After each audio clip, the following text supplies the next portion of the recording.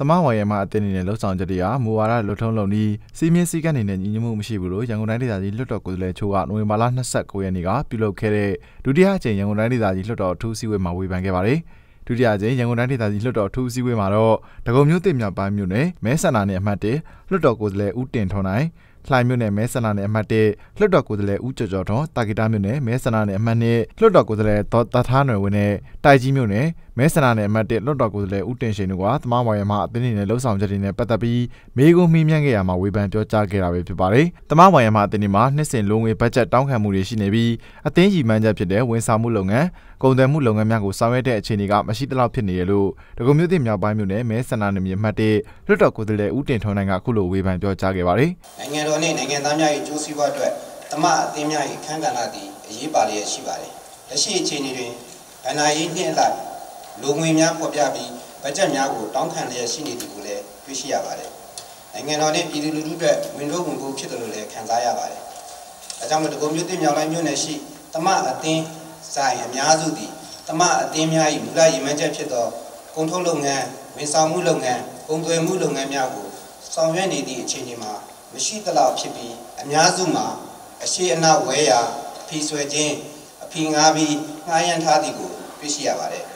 တမဝယ်ရမအသင်းမှာပိုင်ဆိုင်တဲ့နေရာဆိုင်ကန်းတွေမှာအသင်းလုပ်ငန်းလှုပ်ဆောင်တာမျိုးမရှိဘဲနဲ့ဆိုင်ကန်းများအငှားချထားပြီးအငှားချထားတဲ့အမှန်တကယ်ဈေးနှုန်းနဲ့စာချုပ်ထဲကဈေးနှုန်းကွာဟမှုအချို့ကိုလည်းတွေ့ရှိခဲ့ရတယ်လို့လှိုင်မြို့နယ်မဲဆန္ဒနယ်မြေအမှတ်၁လွှတ်တော်ကိုယ်စားလှယ်ဦးကျော်ကျော်ထွန်းကအခုလိုပဲပြောကြားခဲ့ပါတယ်ကျွန်တော်တို့လှိုင်မြို့နယ်တင်းမှာရှိတဲ့တမမဦးစီးဌာနပိုင်နှင့်တမမအသင်းများပိုင်ဆိုင်သောနေရာများတိုက်ခန်းများများစွာရှိနေပါတယ်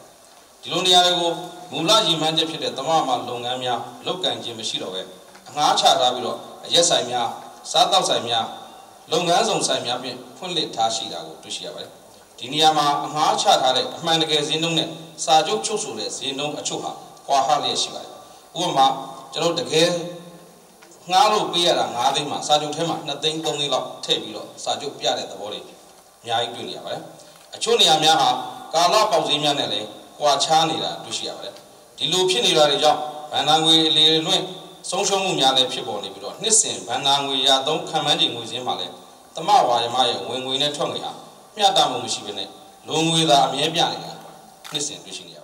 တယ်တာဂီတာမြို့နယ်မဲဆန္ဒနယ်အမှတ်နဲ့လွတ်တော်ကိုယ်စားလှယ်ဒေါ်တထားနယ်ဝင်းကလည်းတာဂီတာမြို့နယ်အတွင်းမှာတမဝါယမဦးစီးဌာနလက်အောက်မှာရှိတဲ့တမဝါယမအသင်းရဲ့အမှုဆောင်ဥက္ကဋ္ဌမှစပြီးအသင်းပိုင်ပစ္စည်းတွေနဲ့ငွေများကိုစီမံခန့်ခွဲမှုလှုပ်ဆောင်မှုပေါ်မှာပွင့်လင်းမြင်သာမှုမရှိတာကြောင့်တိုင်ကြားစာများရောက်ရှိလာကြောင်းမေကွန်မေးမြန်းမှာထည့်သွင်းပြောကြားခဲ့ပါတယ်